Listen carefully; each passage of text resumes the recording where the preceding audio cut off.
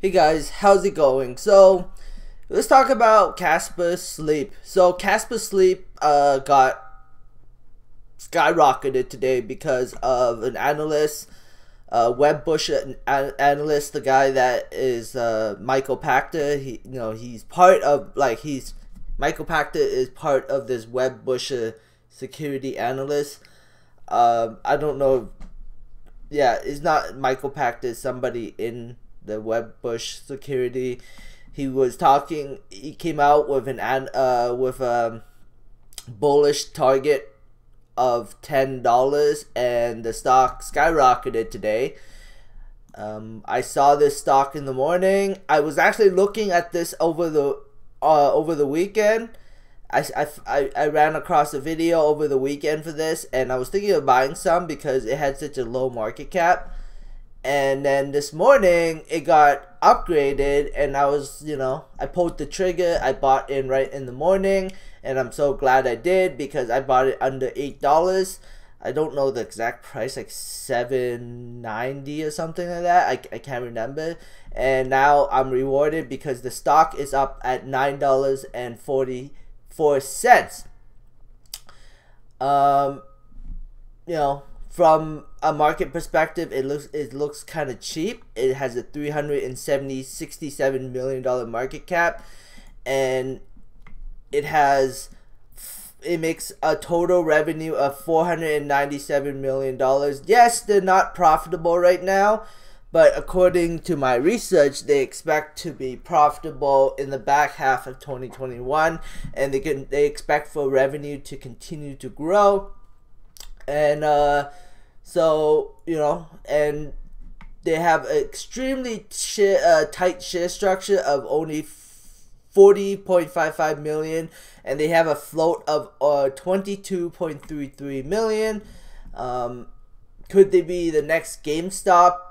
I don't know. I mean, they don't have a huge short position. There's no point for somebody to come in and try to squeeze the shorts out because there's like hardly any of a short position but they do have a extremely low float and GameStop has much bigger float than them, right? They have a 70 million float versus them having a 20 mil 22.33 million float uh, with outstanding shares of 40.55 million. And so yeah, the stock can easily be manipulated to the upside uh, by retail investors and big money. Uh, but uh, Will they do it? I don't know. But I know for one thing for sure is everybody needs a bed. And I do have shares in this stock. And if this thing goes to $20, I will buy a bed from Casper Sleep. I promise you guys that. If this thing goes to $20, I will buy myself a Casper Sleep. So we'll see what happens.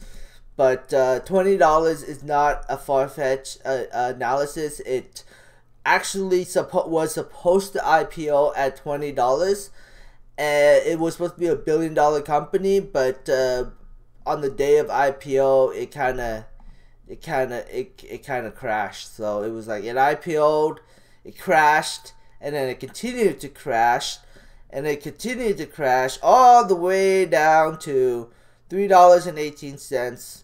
Over the course of a few months, it recovered back to around nine bucks and then it was just kind of trading sideways. Went down to six dollars skyrocketed back to 10 and went all the way down to seven dollars. Got upgraded by Wedbush and the stock skyrocketed on very huge volume. So i don't know if this will continue for tomorrow. It really depends on uh, big money and day traders uh, I don't know if day trade uh, day traders are just in it for a quick uh, return on investment, but uh, you know, it, it's really it really up it's really up to big money day trading. But from a charting perspective, it looks bullish. So, I mean, it broke the 50 day moving average, it broke the middle of the Bollinger Band. There will be, if this stock can stay and maintain at $9, eventually it'll have a golden cross. Or if this stock can continue to run up to $10, $11, definitely a golden cross coming here soon. Uh, even if there's a $10 price tag, sometimes it can get pushed way above that, and this stock can you know, maybe even break 50. Uh, it like this stock could do new 52 week highs in a short amount of time. Uh, but I don't know at the end of the day. If it keeps getting upgraded by different banks, then yeah, I think this thing could totally do new 52 week high. Um, so, and then uh, Jim Cramer, a year ago, he made a video about uh, Chris, uh, CRISPR sleep and Casper sleep, sorry, and he likes the mattresses. He likes sleeping on the mattresses. He thinks that he's like he's like I'm not really a sleep person, but I really like this mattress. It really makes me sleep well. And then uh, also uh, Hyperchange also likes the mattress too.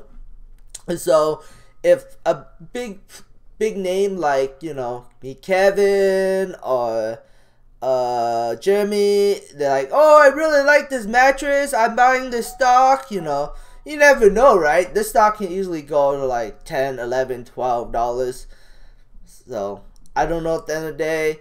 But this company needs. This company will be flipping a profit. It's a growth company, and if we just look at their financials over an annually, it went from, you know, two hundred and fifty million dollars $350 million, $439 million, $497 million.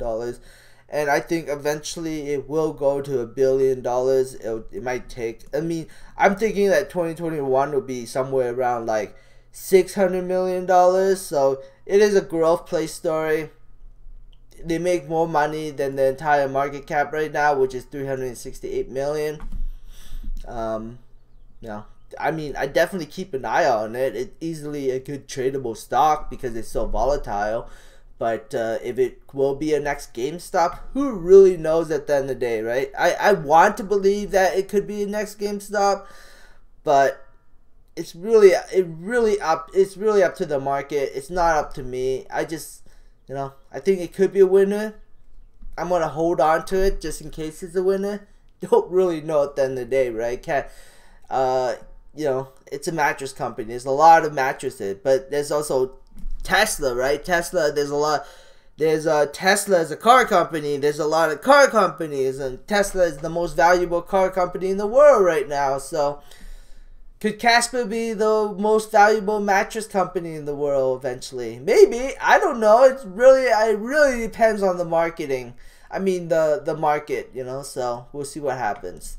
Uh, so yeah. Anyways, AABB, um, just kind of trading sideways right now. Tesla, like remember the Tesla story. Um, you know, Tesla is the most valuable car companies in the world, and there's a lot of cars.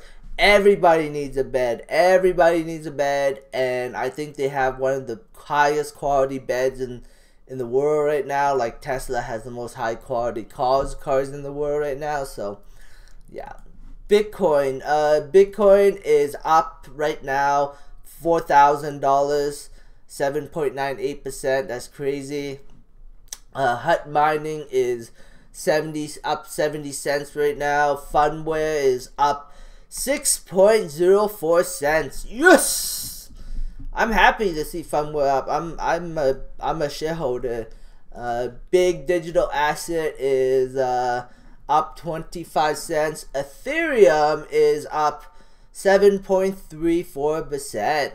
Uh, not too much to say about this. Anyways, uh, that is it for my video. Thanks for watching. Subscribe for future updates and have a great day. Bye.